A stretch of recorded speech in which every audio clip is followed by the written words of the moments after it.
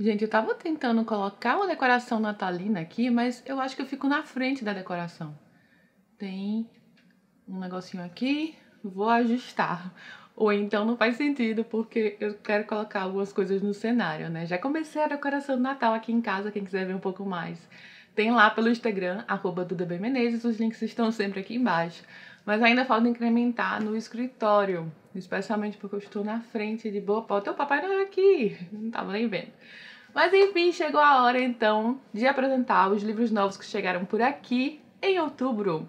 Tem muita coisa já aberta e tem muita coisa fechada. Eu acho que neste vídeo tá bem meio a meio. Então vamos testar assim, né? Aproveite e já curte aqui embaixo o vídeo, se gosta desse tipo de conteúdo. Se inscreve no canal se for novo por aqui, espero muito que você goste, seja muito bem-vindo. E por favor, ao final, deixe seu comentário, me fala o que você mais gostou, se você já leu algum desses, se quer ler, se quer vídeo. Enfim, vamos conversar. E eu quero aproveitar também para dizer que começou o Esquenta Black Friday na Amazon, já tem muita coisa legal. Apagou alguma coisa agora? Acho que sim. Eu acabei de perceber também que eu vou ter que trocar a bateria da câmera, está piscando. Esse vídeo está meio caótico.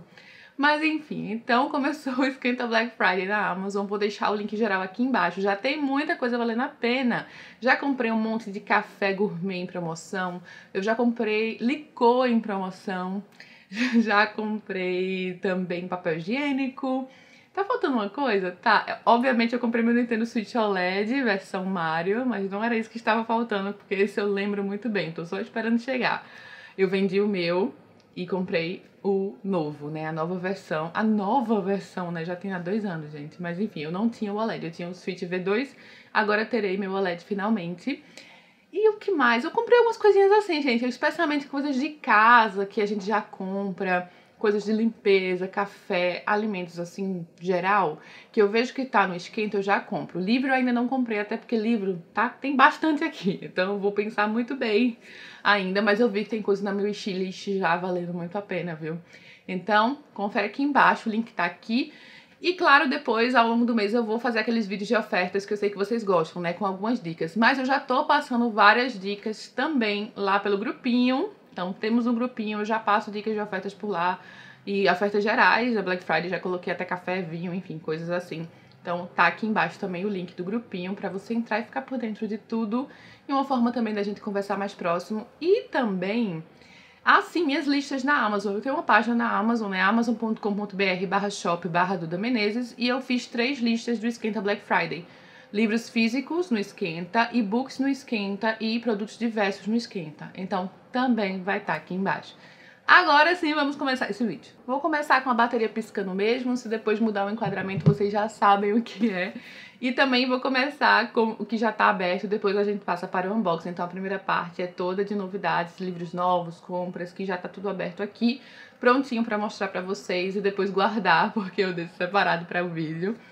E vale dizer que eu já fiz um unboxing em outubro com minhas compras da Mega Oferta Prime, é esse o nome da promoção. Rolou Mega Oferta Prime em outubro na Amazon. Eu fiz compras de alguns livros e já tem vídeo unboxing aqui, então não vou repetir esses livros, tá? Vou deixar o link nos cards aqui em cima e também é um dos últimos vídeos do canal, caso você queira ver é muito fácil encontrar. Então, gente, da Aleph recebi esta coisa maravilhosa. Eu amo Asimov, tô precisando voltar a ler Asimov, né? Eu passei uma época da vida lendo várias coisas de Asimov.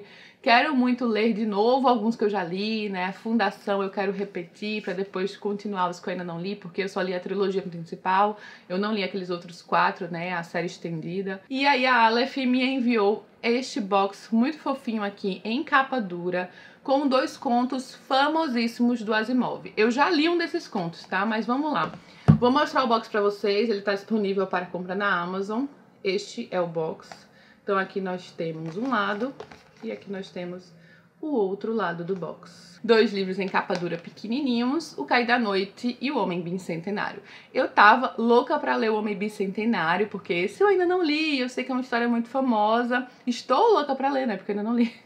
E ele ganhou já uma adaptação famosíssima com o Robbie Williams. E a edição por dentro, além de capa dura, a edição por dentro tá bem caprichada, né, com aqueles detalhes, folhas amareladas. É bem pequenininho, né, mas confortável de ler. Então temos aqui o mesmo estilo de diagramação do outro, tá, gente? Então esse aqui é o Homem Bicentenário e este aqui é o Cair da Noite. O Cair da Noite é um conto incrível do Asimov, que foi eleito o melhor conto de ficção científica de todos os tempos na década de 60. Já tem vídeo no canal sobre este conto, porque eu já tenho este livro em outra edição. Ia cair agora tudo. Esta edição aqui, que é uma edição da Arte e Letra, eu tenho há vários e vários anos, gente. É linda também, né? Também é uma edição pequenininha, tá? De bolso, em capa dura, mas a da Aleph é ainda menor. E eu já fiz vídeo no canal, então, sobre este livro, nessa edição. E aqui atrás menciona, foi eleito pela Science Fiction Writers of America, o melhor conto de ficção científica de todos os tempos, em 1964. É bem interessante porque neste livro é um planeta em que nunca existe noite. Eles são rodeados por vários sóis, então eles não sabem o que é a noite, já que lá nunca escurece. E aí vai acontecer um alinhamento, assim, um eclipse, que vai deixar todos os habitantes lá do planeta no escuro por uma noite. E aí para eles isso é o apocalipse, porque eles nunca passaram por nada disso, enfim. Então, como isso vai mexer ali com essa sociedade e é muito, muito bom. Ah, e nessa edição aqui no box, tá? Tem também marcadores em imã, aqueles marcadores super legais que você ganha se você compra o box. Então, bem legal, né? Tá bem bonitinho. Vou mostrar aí pertinho pra vocês verem. Eu sei que tá pegando um reflexo aqui, mas eu acho que deu pra ver. Gente, vou até pegar uma coisa que chegou em outubro, que tava por aqui, né? Eu nem tinha separado pra mostrar, porque eu já mostrei, já tem vídeo no canal. Mas vocês viram, né, que eu recebi essa edição lindíssima de Coisas Frágeis, que a Intrínseca lançou. Já tinha uma edição antiga de Coisas Frágeis, que estava mega esgotada, foi publicada originalmente em 2008, que por sinal eu tenho também, vou pegar. Tava aqui, tava pertinho, porque minha parte de New Gamer na estante é aqui perto. Então, tá apagando uma luz aqui, eu tô com a impressão que tá com alguma tá com alguma mudança de luz. Depois eu vou ver isso. Talvez a, a lâmpada não esteja bem ajustada. Mas então, aqui eu tenho as duas versões de Coisas Frágeis, que eram versões assim mais simples, né? Porque nessa aqui não tem orelha é páginas brancas, né? Enfim. E tava esgotado. Então tem esse Coisas Frágeis. Eu não sei se era o meu que era assim, eu não sei se tinha outra edição mais caprichada antigamente. Mas antes era dividido em dois volumes. E este é o mesmo livro, tá? Agora nós temos o livro nessa edição aqui da Intrínseca maravilhosa que lança os livros do Neil Gaiman com muito cuidado e capricho. E já falei sobre esses contos, tem vídeo aqui no canal, mas é um livro incrível de contos, um dos mais famosos de Neil Gaiman, né? Ele é considerado aquela coletânea emblemática do autor, para saber um pouquinho mais, confere lá o vídeo. E aí, o que aconteceu, quem me acompanhou no Instagram viu, é que eu derramei derrubei uma xícara de café, uma caneca de café, então derramei café no livro e o meu livro está todo cafeinado. Não dá para perceber muito no livro em si, mas nas primeiras páginas sim. Tá totalmente é, manchado de café, olha só. Só as primeiras páginas, tá? Depois até normaliza, depois nem se percebe. Mas aqui na na lateral percebe bastante também. Da Globo Livros eu recebi o livro do crime. É naquela coleção que tem vários tópicos, tem o livro da literatura, do cinema, da economia, de tudo um pouco. tem muitos tópicos. Aqui atrás tem uma lista de vários, ecologia, arte, música clássica, feminismo. E aí então o mais novo deles é o livro do crime, que vai trazer então vários aspectos do mundo do crime, né? É aquela edição caprichada, ela é toda naquele tipo de papel, né, que é especial, assim, já para fotografia. E tem vários tópicos e vários temas. Tem, assim, tipo, serial killers, assassinatos, crime organizado, golpistas. Vários aspectos do mundo do crime, né? Casos de assassinato, atentados, enfim. Então, para quem gosta de fazer essa coleção, eu acho bem interessante. Eu tenho alguns dessa coleção aqui em casa.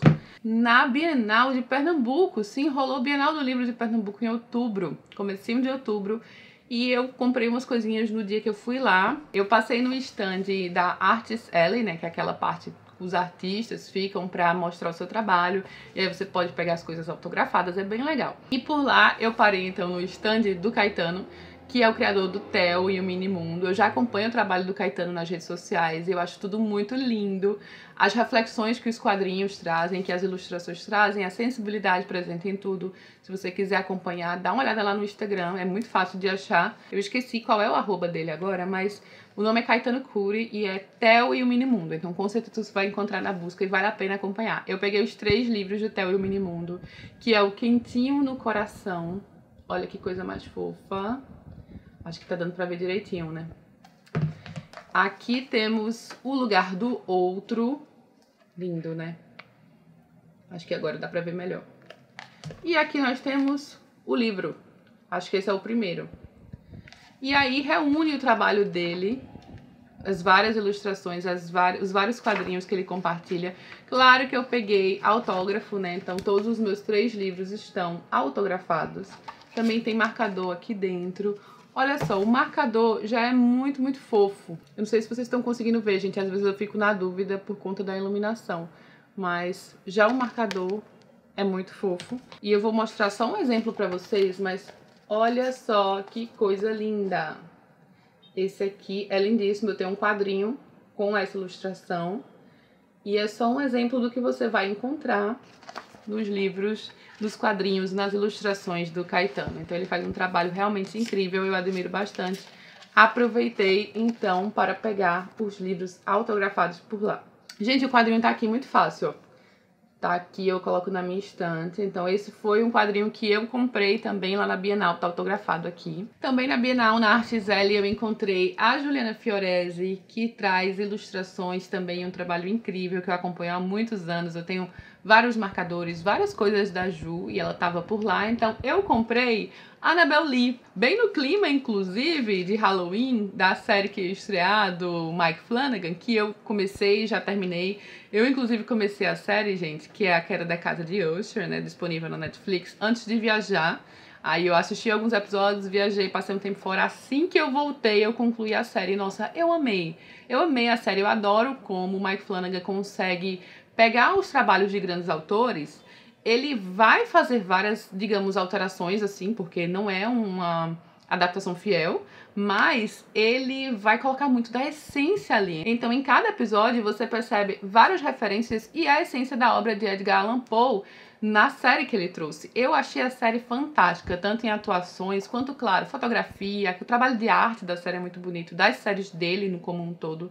E eu, essa foi uma das minhas favoritas. Eu não sei no ranking onde fica, mas adorei a queda da casa de Usher. Acabou a bateria, então se vocês perceberem a mudança no enquadramento foi isso, precisei trocar.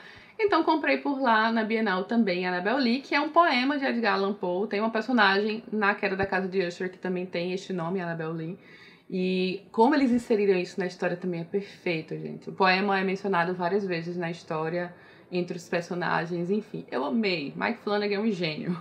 E aí aqui nós temos então as ilustrações da Juliana Fiorese com tradução do Fernando Pessoa. Então é aquela edição que tá lindíssima, né? Vou mostrar só um pedacinho pra vocês, ó, a minha tá autografada também. E olha que coisa mais linda. O trabalho dela é super lindo e caprichado. Aqui na primeira página nós temos. Foi há muitos e muitos anos já no reino ao pé do mar como sabeis todos, vivia lá aquela que eu soube amar. Outra coisa que eu comprei na Bienal, acho que a última, isso, a última coisa que eu comprei na Bienal foi no stand da Global Editora, que eu admiro bastante, inclusive eles lançam a obra, né, do José Lins do Rego, já tá completa, creio eu, que eu adoro, então vocês já viram um pouco da Global aqui no canal.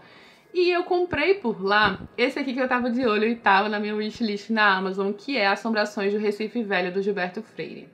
Eu queria ter lido esse livro em outubro, né? Mas quando eu comprei eu já sabia que não ia dar, mas quem sabe fica pro próximo ano. Assim, eu quero ler antes de outubro, né? Se eu conseguir já encaixo. E aqui temos então histórias assustadoras de Recife, que é a cidade em que eu moro, tá? Quem é novo por aqui, eu sou de Recife. Passei minha vida inteira em Recife, ou melhor, eu morei em Salgueiro, sertão de Pernambuco, por um tempo quando eu era muito pequena, porque a família da minha mãe é inteira de Salgueiro. E então aqui nós temos contos mesmo, essas histórias são separadas por ilustrações. Essa aqui, Boca de Ouro, Recife e o Nordeste. Tem a apresentação. Ah, tem a apresentação do conto, né? O Recife e o Nordeste é a apresentação. E o conto começa, o Boca de Ouro começa depois. Tá uma edição bem bonita e caprichada, tá? Eu sei que é folhas brancas e tem gente que não gosta. Eu já falei várias vezes pra vocês que eu não tenho problema nenhum com folhas brancas.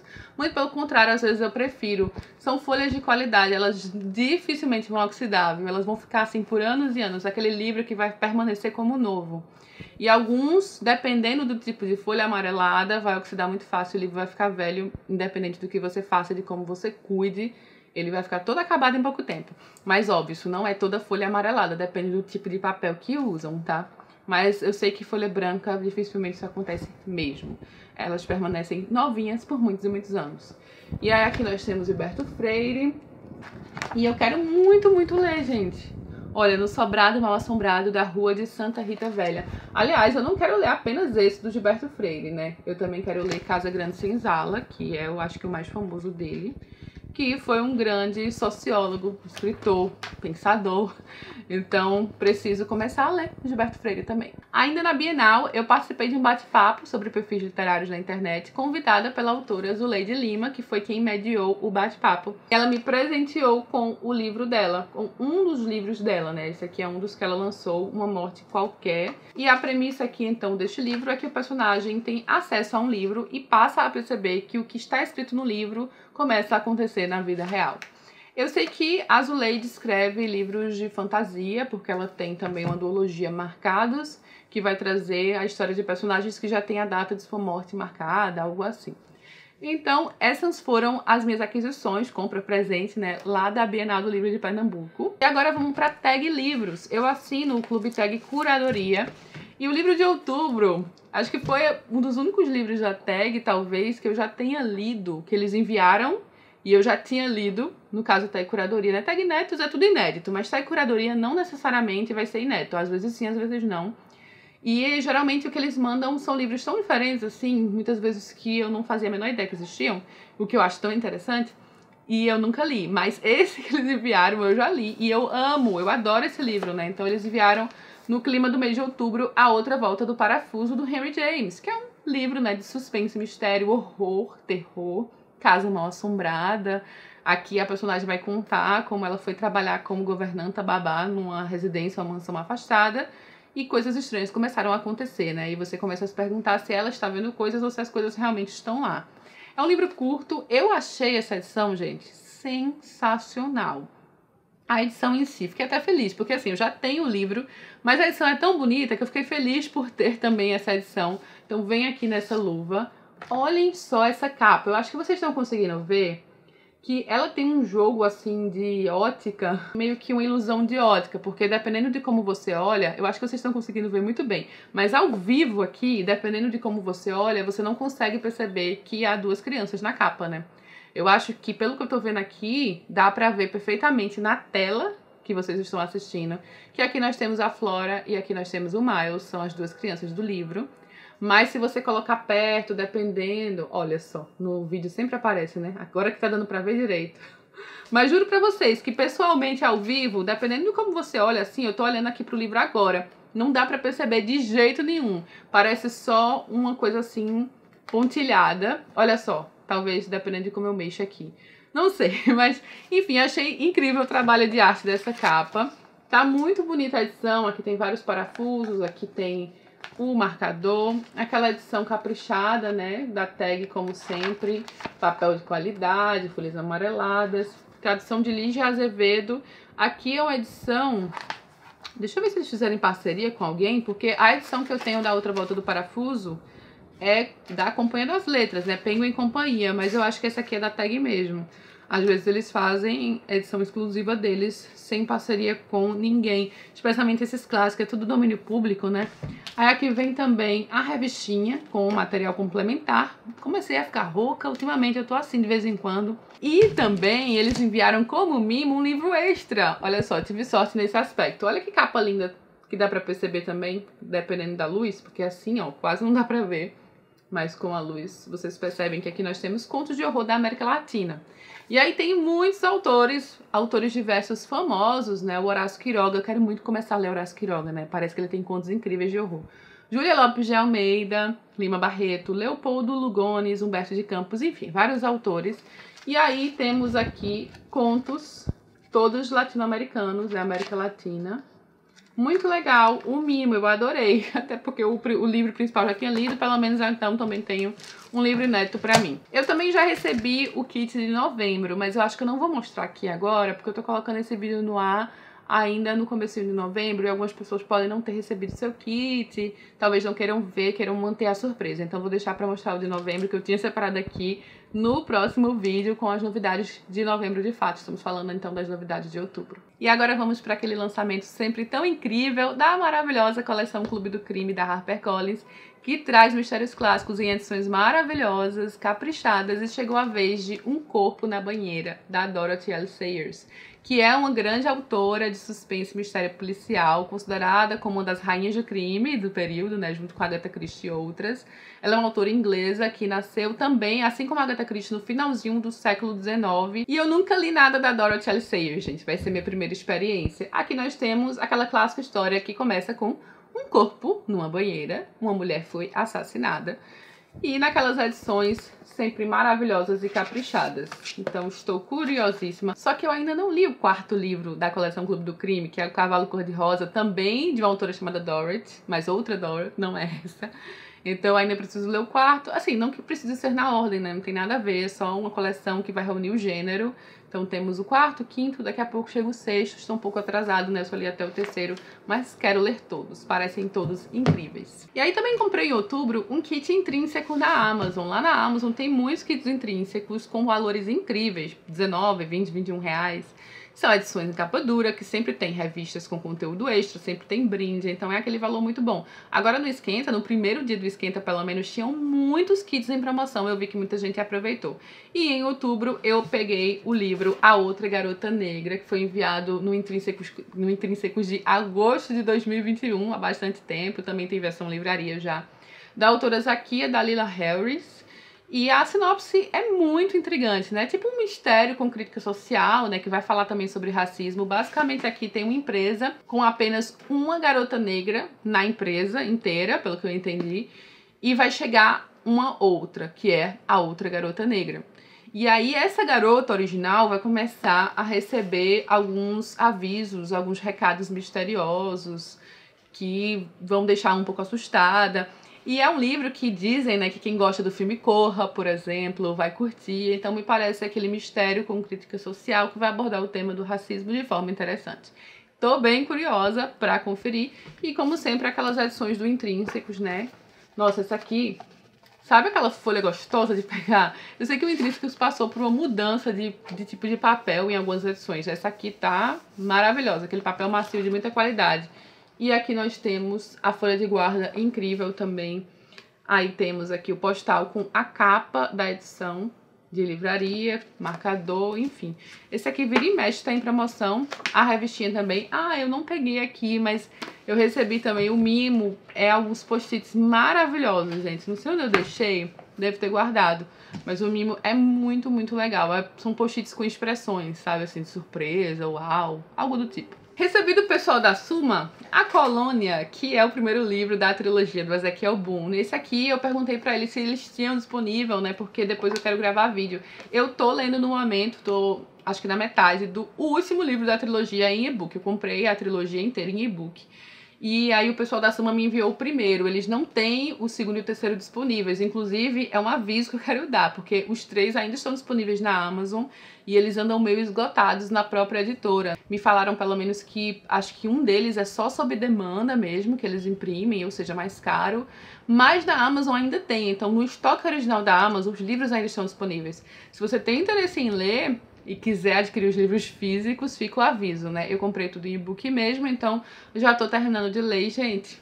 Eu tô amando, assim, eu amei os dois primeiros livros. Eu, eu li esse livro aqui em um dia. Apenas um dia eu li o primeiro inteiro. Depois, em dois dias seguidos, no, logo depois eu comecei o segundo e terminei em menos de dois dias também. Então eu devorei esses livros, tem tudo que eu gosto, não quero nem me alongar aqui, porque senão esse vídeo já vai ficar maior maior do que precisa ser, né? Um barulho aqui de carro, vocês com certeza escutaram. Mas então eu tenho o primeiro agora no exemplar físico para pelo menos ter o livro em mãos quando eu for gravar vídeo para vocês, tá? Aquela edição da Suma, bem legal.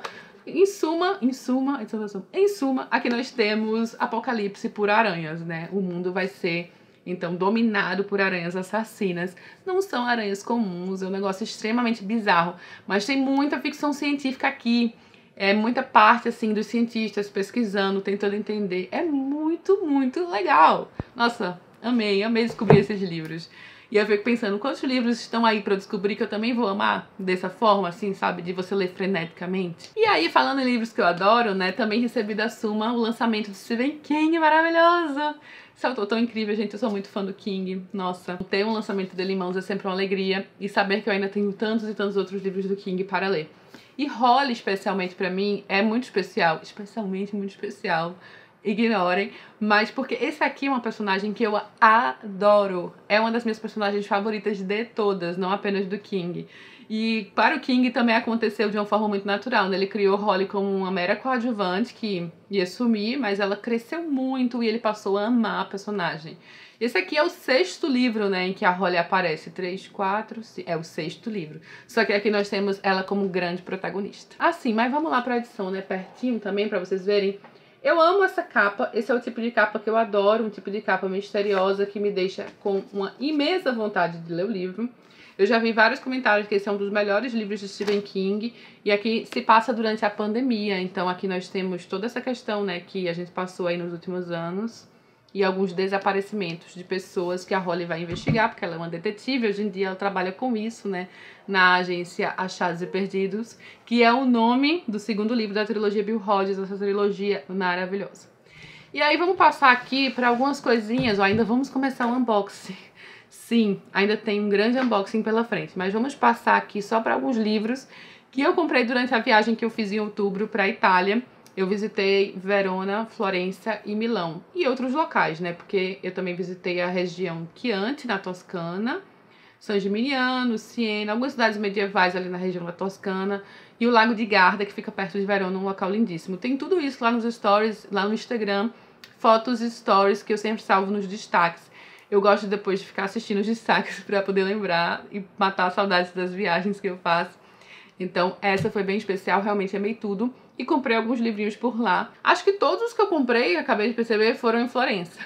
Então eu comprei por lá Michelangelo, aqui nós temos Miguel Ângelo, tá aqui o título, Michelangelo. Essa é uma edição em português, que eles vendem lá na Galeria da Academia.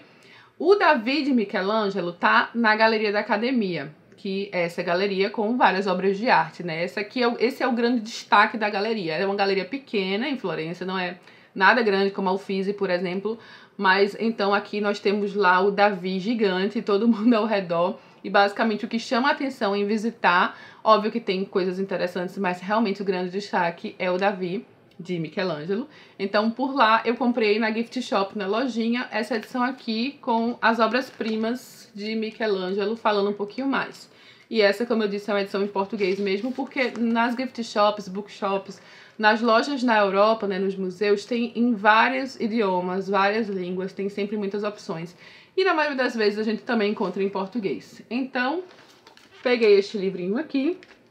Também peguei lá numa basílica, Basílica Santa Cruz, que é uma basílica muito famosa por lá, onde estão enterrados, né, a cripta, a tumba lá, a homenagem a grandes nomes como Michelangelo, Galileu Galilei, Maquiavel, todos eles estão lá, gente. É tipo o Panteão em Paris, que tem muita gente ali famosa enterrada, né? Que tá lá também o caixão e tudo mais, tem aquelas criptas embaixo, também é um local incrível de se visitar. E na Basílica, lá em Florença, temos esses grandes nomes. E é uma basílica pequena também, né? Mas é bem legal ver toda a homenagem que eles fazem. E lá tem uma bookshop, e aí eu comprei algumas coisinhas. Eu peguei essa edição aqui sobre a Basílica, a história da Basílica. Essa aqui tá em inglês, porque eles não tinham em português. E é sempre um livro caprichado, né? Com várias fotografias, contando realmente a história. Tem aqui, olha só, tem até o folheto da Basílica que eu guardei aqui dentro. O folhetinho. Esse marcador aqui, na verdade, é de uma lojinha que eu visitei em Florença. Eu vou até pegar o que eu comprei por lá, porque o que eu comprei barra ganhei do meu marido por lá, que é incrível e tem a ver com o livro também. Mas então, peguei esse livro aqui sobre a Basílica, peguei lá, também na Basílica, os Medici que foi essa família de grande importância na Itália, né, que dominou a Itália por muito e muito tempo. E aqui vai contar a história dos Médici em português, tá? Essa aqui é a história de uma dinastia europeia. E aqui um pouquinho mais da edição também. Capa linda, né, gente? Olha só. E aí lá também a gente comprou, né? Esse aqui é do meu marido, na verdade, mas estava aqui junto das minhas compras. O Príncipe de Maquiavel. Lá é onde Maquiavel está enterrado, né? Enfim, ele já leu o Príncipe, mas ele pegou essa edição, comprou lá da Penguin mesmo para reler, que é uma edição em inglês. Eu não sei se vocês estão conseguindo ver direito que a capa é branca, né? Às vezes é difícil ver. E lembrando agora de mostrar para vocês, lá em Florença, eu visitei uma lojinha que tem coisas lindíssimas. Sabe, obras de arte mesmo. Eles fazem cadernos, assim, artísticos. E eles fazem também mini estantes de madeira, entre outras coisas, né? E aí eu comprei, barra ganhei essa aqui. Porque eu falo barra ganhei, porque se dependesse de mim, eu ia acabar não comprando. Porque foi muito caro e aí eu fiquei lá babando. Só que meu marido viu o quanto eu gostei. Então ele meio que incentivou e me deu de presente. Eu escolhi, né? Gente, olha que coisa linda. É totalmente artesanal. Eles fazem lá na lojinha. Nenhuma é igual à outra, é tudo bem diferente. Eles têm várias opções e nunca vai ser igual. E é tudo de madeira. É lindíssimo, sabe? O, os detalhes que eles trazem aqui. Tem até a vela, que é nessa loja Signum Firenze. Firenze é Florença, é em italiano, tá? O nome da loja é Signum. E eu vou guardar isso com todo carinho para sempre aqui em destaque na estante. É muito, muito lindo mesmo. E agora sim vamos começar o unboxing, gente. Propriamente dito, vamos lá. Vou abrir a caixinha fofa do Clube Andarilhos um clube de ficção especulativa, que traz sempre coisas tão interessantes que normalmente a gente não vê em outro local, né? São livros que geralmente eu sequer conheço, passo a conhecer os autores por conta do clube.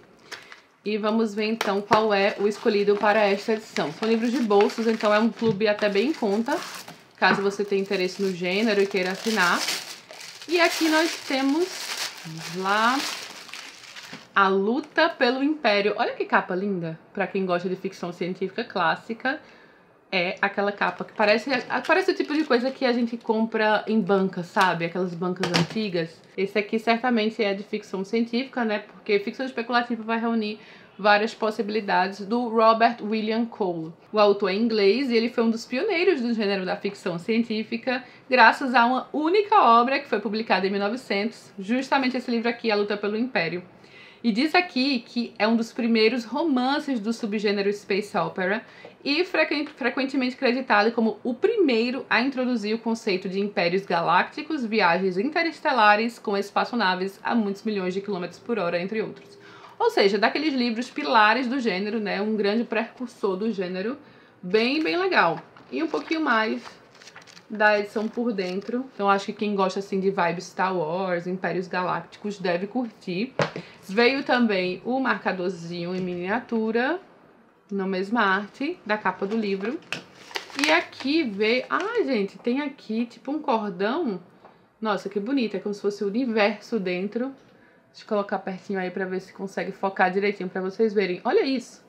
Tá parecendo aquele colar do gato que é o cinturão de Orion, né, em MIB, Homens de Preto. Recebi essa caixinha aqui do pessoal da editora Record. E aqui nós temos, eu acho, aquele clube deles, que é o Fuja, né, um clube de suspense. Creio que seja, né, sempre vem nessas caixinhas. Então é um kit, vamos lá. Tem todo um arquivo confidencial aqui, gente. É tipo um arquivo mesmo, é como se fossem jornais e investigação sobre um perfil de uma pessoa, bem estilo policial, né? Livro policial. E aqui no livro, vamos lá, Obsessão Fatal. Não, gente, Tess Garrison. Eu adoro a Tess Garrison, amo.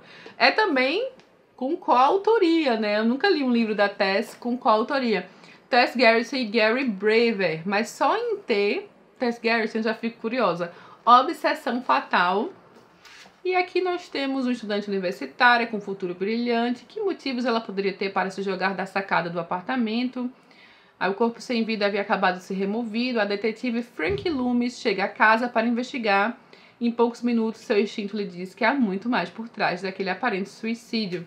Então, é a investigação da morte de uma jovem que tinha toda uma vida brilhante pela frente, aparentemente um suicídio que na verdade foi um assassinato. E aqui dentro também veio coisinhas extras, assim, acho que tem uma fita, um post-it e um fio de lã, não sei. Ó, é isso aí. E acabou, é este o kit. Recebi essa caixinha do pessoal da Intrínseca que eu estou abrindo agora, deixando essa parte aqui pra frente, porque nessa parte daqui tem várias informações. Nossa, olha só, um kit de Halloween. Que legal. Gente, veio até uma balinha, sabor artificial de morango. Olha a balinha, é um olho. Daqueles olhos bem bizarros. Olha isso. Deu até vontade, ainda não almocei. Tô gravando de quase duas da tarde sem almoçar. Qualquer doce que vem pela frente a gente tem vontade. Chegou o mês de Halloween, mandaram fantasminha. Nesta época, os medos estão aflorados. Então, neste kit, nós temos o livro das fobias e manias. Olha que legal. E aí, o kit tá bem caprichado, né? Tem uma aranha, tem aqui essa espuminha. Nossa, meio kit. Adoro quando entram no clima de Halloween Natal. Deixa eu puxar aqui com calma, para não bagunçar muito o escritório. Então, aqui nós temos o livro das manias, as fobias e manias que fazem parte da nossa realidade, nossos medos e compulsões. A autora vai descrever 99 obsessões de A a com curiosidades, questionamentos e uma gama de explicações para alguns dos sentimentos mais profundos da experiência humana. Será que tem escorpião aqui, gente? Quem assistiu o último vídeo vai saber. Curioso que aranha não tenho nem um pouco, né? Vocês já perceberam. Tô até lendo a trilogia das aranhas, basicamente. Não, mas se tivesse uma trilogia dos escorpiões, eu leria também, tá? É diferente ter um na sua frente. Eu sei. Então temos aqui esse lançamento da Intrínseca, muito legal. Adoro livros de não ficção especialmente esses assim com abordagem científica. Amei, adorei, já vou ficar curiosa aqui para ver quais são as fobias que a autora incluiu aqui. Deve ter algumas fobias muito estranhas, né? Deixa eu ver se já temos aqui um sumário. Olha o sumário de A a Z. Vou colocar aí pertinho que aí vocês conseguem dar uma pausa. Quem sabe dar uma olhada também. Nictofobia, monomania. É bom que você vai descobrir os nomes das fobias. Nictofobia é noite escuridão. Emetofobia, vômito, vomitar. Bambacofobia, algodão. Batracofobia, rãs e sapos. Olha só, você vai descobrir aí o nome de um montão de fobias. Adorei o livro. Agora eu vou abrir essa caixinha com vocês, tá? Que tem meu endereço, tanto na frente quanto atrás. Então deixa eu abrir aqui com cuidado para mostrar o que tem aqui dentro. Eu não faço ideia. Nossa, tá muito bem embalado isso aqui. Vamos lá. Descobrir o que temos em mãos. A Herança dos Fantasmas. Nossa, eu já gostei do título. Será que é algo meio ficção científica? Me parece ser, hein? Olha a capa.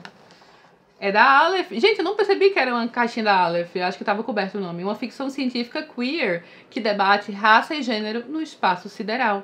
A Herança dos Fantasmas está chegando ao catálogo. A obra foi escrita por Rivers Solomon, uma pessoa não binária, considerada um dos grandes expoentes do afrofuturismo contemporâneo. E este é seu livro de estreia no Brasil. A história se passa na Matilda, uma nave espacial que levou o resto da humanidade rumo a uma terra prometida, deixando a terra originalmente devastada. E a protagonista vive em um convés oprimido, onde tenta desenvolver suas habilidades médicas em um ambiente hostil. Contudo, sua vida muda quando embarca em uma investigação após descobrir pistas sobre a morte suspeita de sua mãe. Gente, achei bem interessante, gostei também do trabalho das cores da capa. Nossa, bem legal, hein? Aleph faz um trabalho incrível, tô bem cebolinha, incrível. E aqui veio também aquele cardzinho que eles mandam, bastante representatividade, elementos de distopia, escrito por uma pessoa não binária, inédito no Brasil. Muito legal, né? Eu adoro as edições da Aleph, são sempre muito caprichadas. Catálogo da Aleph é incrível. Aliás, um dos livros que eu mais quero ler no momento, que é assim que chegar eu vou para a minha vida para ler, é um dos lançamentos da Aleph. Agora vamos abrir essa caixa aqui, tá, gente? Que eu também não sei quem enviou. Consegui. Temos aqui uma caixa preta. Hum, que mistério é esse, gente? Não faço a menor ideia. Para o Inferno. Lei Bardugo. Já ouvi falar dessa autora, nunca li nada dela. Riqueza, poder, assassinato, magia. A Ivy League está indo direto para o inferno nessa sequência de nona casa. Ah, gente, é uma sequência? Eu sei que o brilho da pessoa sumindo. Nunca li nada dessa autora, não sei, não tenho esse nona casa. Bom, se alguém já leu essa autora, o primeiro, já que esse aqui é uma sequência, me conta aqui embaixo o que vocês acharam e se vocês acham que eu vou curtir. Mas eu realmente não tenho esse primeiro livro. E eu só escutei falar por alto, assim, dessa autora. Eu sei o nome, mas hum, nunca parei para ver nada dela. Agora vamos abrir a caixinha maravilhosa do Clube Box. Sempre fico muito empolgada. Tema fantasmas. E o filme Fantasmas. Eu acho que eu nunca assisti esse filme. Tenho quase certeza. É com Ben Affleck, a Rose McGowan, Liv Schreiber, que foi o marido da Naomi Watts por muitos e muitos anos. Temos aqui o elenco. É com Peter O'Toole também. É uma edição especial de colecionador. O filme é de 1998 e isso indica que teria grandes probabilidades de eu ter assistido, porque esse era o tipo de filme que eu assistia em 1998. Quando Lisa chega à cidade de Snowfield, no Colorado, para passar férias, descobre que todos os habitantes desapareceram misteriosamente. Eu adoro histórias assim. Deixando para trás um rastro de morte e destruição. Elas encontram com o xerife local, que é Ben Affleck, e com a ajuda do xerife, do, e o ajudante do xerife, na verdade, Stu, que é o Liv Schreiber, que eu não sei se eu pronuncio correto o nome dele, nunca sei, para investigar o ocorrido. Ou seja, uma cidade aqui que desapareceu, os habitantes todos sumidos. Adorei a sinopse. Creio que eu não assisti. Creio que eu não assisti. Olha que capricho, né, na edição. Muito, muito legal. Aí veio então esse quadrinho aqui, Desaconselhável para menores de 18 anos, já diz aqui na capa. Acho que o nome é Desaconselhável para menores de 18 anos. Gente, eu, eu tô muito doida, mas me parece o título do quadrinho. Deixa eu abrir aqui pra gente descobrir. Ah, tá, gente. De fato, eu não posso mostrar não posso mostrar capa. O título não é esse. De fato, é desaconselhável para menores de 18 anos e a capa o YouTube ia censurar o meu vídeo, não dá pra mostrar, mas o livro é ah, o graphic novel A Lenda de... Não tô conseguindo entender esse nome. Deixa eu olhar aqui no papel de spoilers que deve dar pra entender melhor, mas o, o tipo de letra aqui eu não consigo entender que eles usaram. A Lenda de alguma coisa... A Lenda de Zapanzukon. Nunca leria esse nome desse jeito, com essa letra aqui.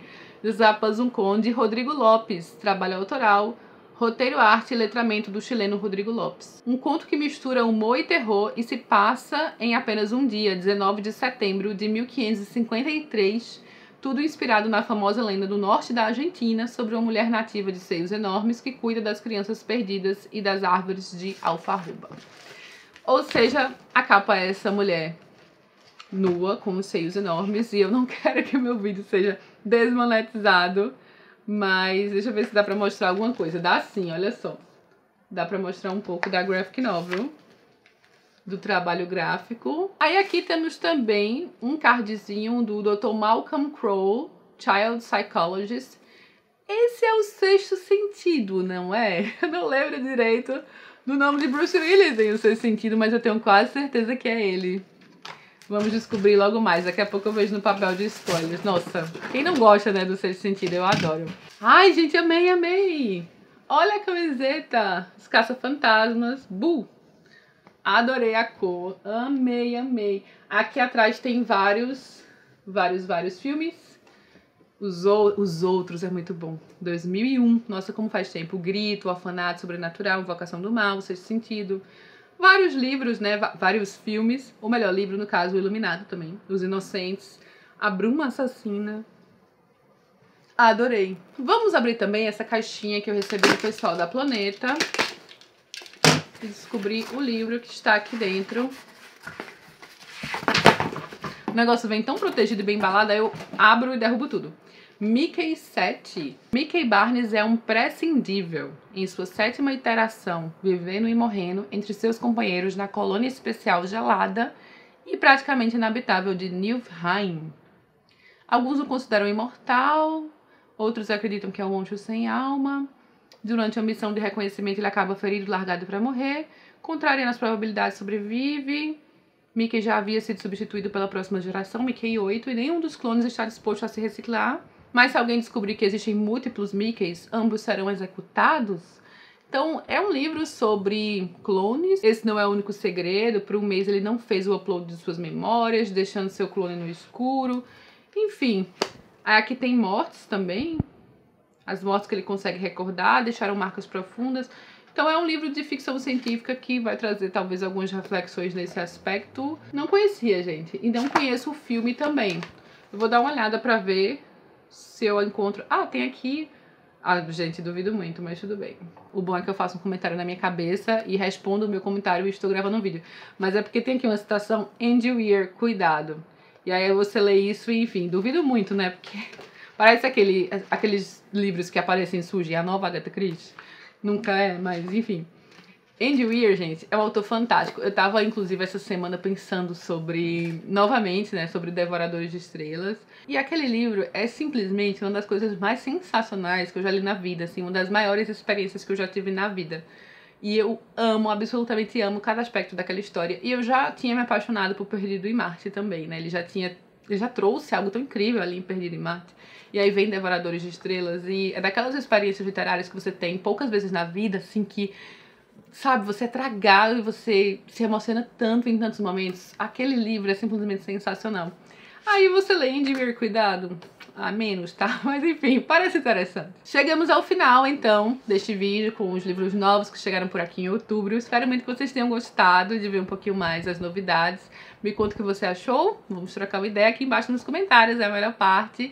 E dá uma olhada no box de informações para conferir os links, dá uma olhada no esquento da Amazon e por aí vai. Um beijo enorme a todos e até a próxima!